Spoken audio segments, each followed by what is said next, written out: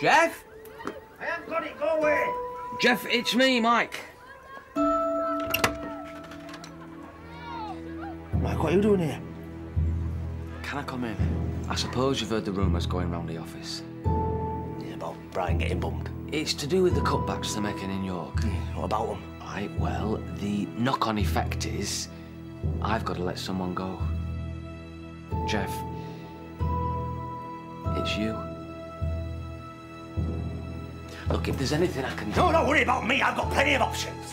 Always have a backup plan. So the us in TAs. Here we go, look. I'm going to speak to my mate Don in London. He says he can get me work anytime. So what are you going to do? Comedy.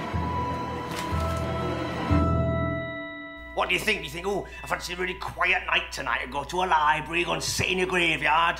Oh no, I'll go to uh, Salmon Knowledge, because that Geoff Tipps is on Don's mate from Vasey. Because it's easy this in tea, and here you could do this better than me, I'm just crap. Get off there. Yeah, don't worry, I will. Hooray! Oh, fuck off!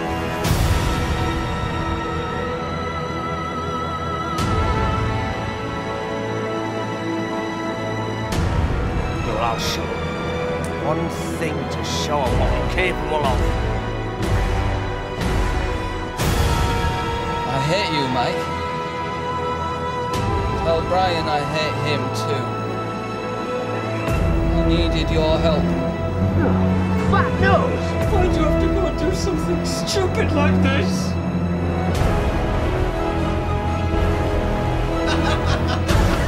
Oh, I got you, didn't I? Blanks! you know got this gun, don't you? And if she were here now, my Katie would agree with me. but she's not here now. Because she left me. Then she Brian.